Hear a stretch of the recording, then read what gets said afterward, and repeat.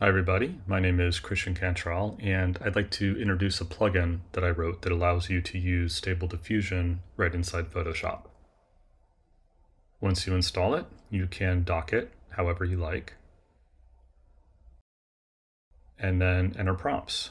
Click the Dream button and in a few seconds you'll get a little gallery of results from which you can create a layer, copy a seed, which you can use to generate a similar image. Or if you don't like the result, you can just delete it. A history of all your results is maintained, so you can always go back and find your previous work. Not only can you create a layer and copy a seed from the History tab, but you can also copy the respective prompt, which automatically drops it back into the prompt text area.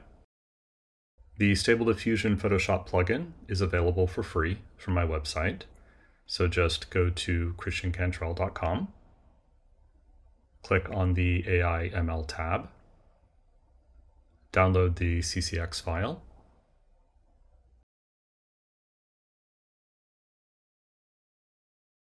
double click to install.